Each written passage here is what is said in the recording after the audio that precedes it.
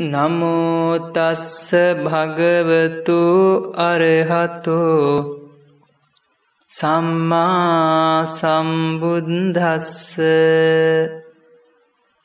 ඒ භාග්‍යවත්තු අරහත්තු. අන්‍යයන් දෙයක් තමන්ගේ කර නොගෙන තමන්ගේ දේ තුළින්ම ලෝකයා සතුටු කරන ස්වභාව ඇති. මාගේ භාග්‍යවත් බුදුපාණන් වහන්සේට නමස්කාර කරමි නමස්කාර වේවා. අති උත්තමනීය පන්සිය පනශ්චාතක පුත්වහන්සේගේ අසූහයවැනි සීලවීමංස ජාතක දේශනාව. සීලංකිරේව කල්්‍යානං සීලං ලෝකේ අනුත්තරං. පස්ස ගෝර විසෝනාගෝ සීලවාතින හං්ඥතිති ආචාර සීලය මෙහපත්ය. ලෝකයෙහි සීලේ ශේෂ්ඨය බලව නපුරු විස ඇති සර්පතිමේ සිල්ලොත්තිමි අන්‍යන්ට හිංසාවක් නොකරේ. කිසි කෙනෙක්ගේ උපකාරයක් නොමැතිව සෝත්සාහයෙන් ජීවිතය ජයගණ්ඩ කියලා දෙන මේ ශ්‍රී සද්ධර්මය ශ්‍රවණය කරන්නට තරං වාසනාවන්තු වාසනාවන්ත පින්වත්නී. අපි දැම් මේ මොහොතේ සූදානම් වන්නේ අසූ හයවැනි ජාතක දේශනාව ශ්‍රවණය කරන්නට. මෙහි අර්ථත් තිමසා බැලුව සීලංකිරේව කල්්‍යයානම් සීලයතම බොහොම හොඳ. සීලං ලෝකේ අනුත්තරං. සීලේම තමයි මේ ලෝකෙ අනුත්තර. පස්ස ගොහර විසෝනාගෝ බලන්න මේ විසගෝර සර්පයා පවා සීලවාතින හං්ඥතීති තව කෙනෙට දෂ්ට නොකරනකොට පීඩා නොකරනකොට සිල්වත් කියන නාමයට යනවා. පිංවතුනී මොකදද මේ ගාථාවෙන්ගේ ප්‍රකාශය චාර්තය තුළ ගැබ්බෙලා තියෙන කතාව. අප මේ ජාතක දේශනාව තුළින් ඒක දැනගම්මු පින්වතුනි ශාන්තිනායක බුදුපාණන් වහන්සේ දියතවනා රාමෙහි වැඩඉන්න සමයෙහි කොසල් රජතුමාගේ එක්තරා සීල විමංසක ඇමතියෙක් අර්භයා තමයි මේ ජාතක දේශනාව සිද්ධ කරේ. කොසල් රජතුමාගේ කැමතියෙක් හිටියා මේ බමනුතුම් බොහොම ත්‍රවේදය පාරදරට ගියපු බොහොම උගත් ඒවගේ බොහොම සිල්වත් කෙනෙක් නොකට කොට රකින්නත පන්සිල් තියෙන කෙනෙක් මේ ඇමතියාට කොසල් රජතුමා බොහොම හොඳර සලකනවා. දවසක් මේ ඇමත්තමා කල්පනා කරනවා කුමක්ද. මේ රජතුමා මට සලකන්නේ මගේ කුලය නිසාද. එහෙම නැත්නම් මං ප්‍රසිද්ධ කෙනෙක් නිසාද. එහෙම නැත්තම් මගේ සීලය නිසාද. ඉමසලා දැනගන්ට ඕනේ කියලා කල්පනා කරන මේ වමුණුතුමා උපක්‍රමයක් වසයෙන් රජමාලිගාවට යනේන ගමන් විටින් විට මේ රංකාහවුණු ටිකක් ගන්නවා. ඒ කියන රංකහවුණු ගණන් කරන තැනින් එක දවසක් රංකහවුණුවක් කරන්න යනවා. ඊළඟ දිනේ රංකහවුණු දෙකක්. තුන්ගනි දවසේ රංකහවුණු මිටක්ම අරගෙන යනවා.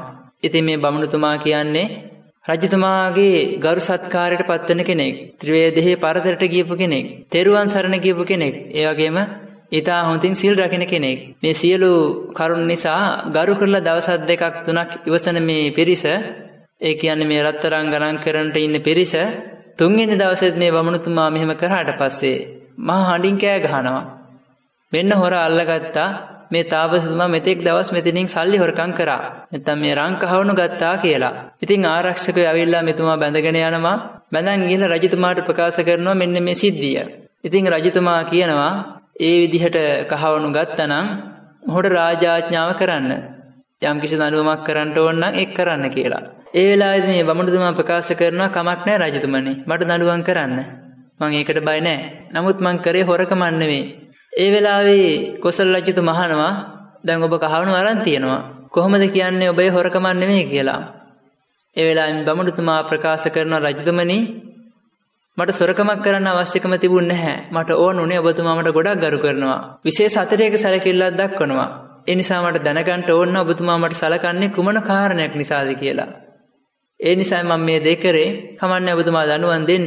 ඉතින් මේ වගේ කාරණාවත් තුළින් මම ලොකු පාඩමක් ඉගෙන ගත්තා. මොකද්ද මේ සීලයම තමයි ලෝකේ උතුම් වෙන්නේ කියන එක.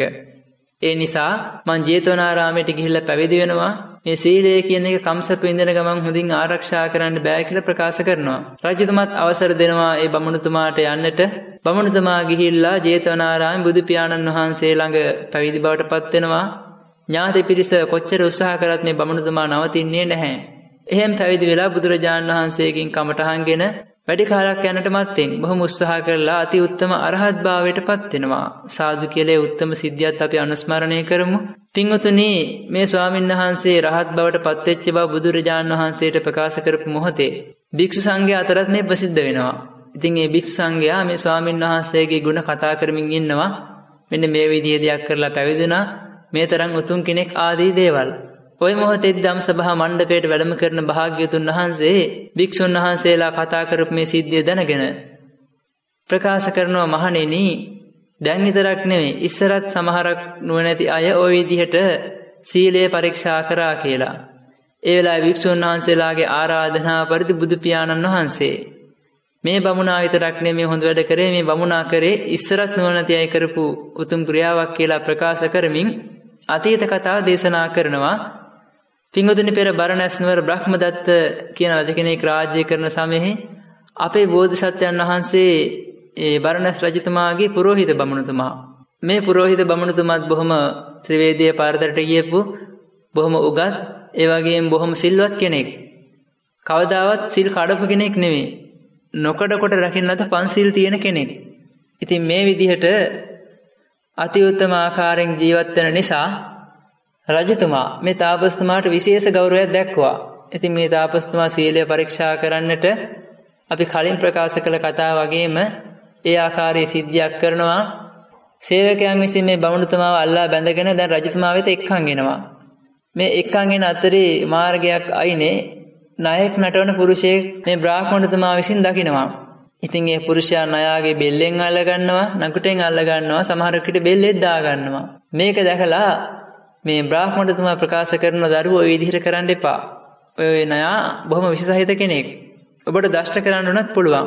ඒ වෙලාවේදී මේ නයි නටවන්නා කියනවා මේ නයා ඔබ වගේ කෙනෙක් නෙමෙයි. මේ නයා බොහොම සිල්වත්. ඉතින් ඔබ වගේ රාජභාණ්ඩාගාරය හොරකම් කරේ නැහැ. මේ නයා ඊට වඩා උතුම් කියලා. තාපසතුමා කල්පනා කරනවා ණයෙක් වුණත් දෂ්ට නොකරනකොට සිල්වත් කියලා නමක් ලබනවා. ඉතින් මිනිස්සෙක් ඒ විදිහට කටයුතු කරොත් කොයිතරම්නම් හොඳද? කොයිතරම් ශ්‍රේෂ්ඨද? මිනිස්සෙක් ගැන කියන්න දෙයක් නැහැ. මේ විදිහට කල්පනා කරමින් අපි බෝධිසත්වයන් වහන්සේ දැන් රජතුමා වෙත යනවා. ඉතින් රජතුමා මේ කාරණා දැනගෙන දණ්ඩන නියම කරනවා. ඒ වෙලාවේ මේ බ්‍රාහ්මණතුමා ප්‍රකාශ කරනවා රජතුමනි මට දඬුවම් පනවන්න කමක් නැහැ. නමුත් මං කරේ හොරකමක් නෙවෙයි. මට ඕනේ මෙන්න මේ කාරණා දැනගන්න කියලා ප්‍රකාශ කරපු වෙලාවේ ඒ රජතුමාගෙන් ලැබූ අවසර ඇති ඒ පුරෝහිත බමුණුතුමා හිමාල වනාන්තරයට ගිහිල්ලා තාපස පැවිද්දෙන් පැවිදලා පංචඅභිඥා අෂ්ට සමාපatti උපදවාගෙන දිවි කෙලවර බඹලව වැඩම කරනවා.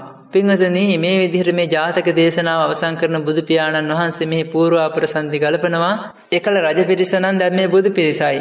එසා මෙහි බමුණුතුමා වෙලා, ඒ කියන්නේ රජතුමාගේ පුරෝහිත බමුණුතුමා වෙලා සීලය ගැන පරීක්ෂා කරේ ඒ විදිහට තාපස පැවිද්දෙන් පැවිදලා පංචවිඥා අෂ්ට සමාපatti උපදවාගෙන බඹල වැඩම කරේ දැන් මේ බුදුපාඩ පත්ව සිටින මම්ම වේදයි කියලා බුදු පියාණන් වහන්සේ මේ ජාතක දේශනාව අවසන් කරන්නේ